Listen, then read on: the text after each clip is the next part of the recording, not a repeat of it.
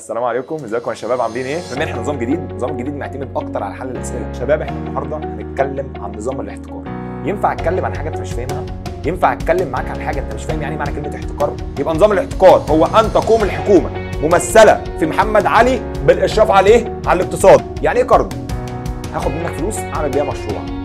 ولما اكسب هبقى اديك القرض بتاعك. عشان يطور الزراعة. طب محمد علي عايز يطور الزراعة ليه؟ عشان الزراعة بتجيب لمصر دخل قومي وعلشان يوفر محاصيل جيدة للتصدير. شباب بعد ما خلصنا جزء الشرح هبدأ أخش في أهم جزء بالنسبة للنظام الجديد هو جزء الحل أنا إيش ضمني الأسئلة اللي أنت جايبها دي مش فاتية من عندك. كل سؤال هكتب لك جنبه صفحة كام من الكتاب اللي أنا جايبه منه. الحكومة بقت تشجع الفلاح عن طريق إيه؟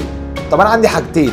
تقديم قروض مالية للمنتجين ولا تقديم قروض عينية للفلاحين؟ طبعا كله عارف الاختيار الصح. هي تقديم قروض عينية للفلاحين إن هو كان بيدي الفلاح بذور وأدوات ومواشي. أول اختلاف بين سياسة محمد علي في الصناعة عن الزراعة. يعني هو عمل حاجة في الصناعة ما عملهاش في الزراعة. عند تطبيق سياسة الاحتكار الاقتصادي أسلوب الإيه؟ محمد علي لما طبق الاحتكار كان بيجبر الصانع على الحاجة اللي هو يصنعها وكان بيجبر الفلاح على الحاجة اللي هو يزرعها.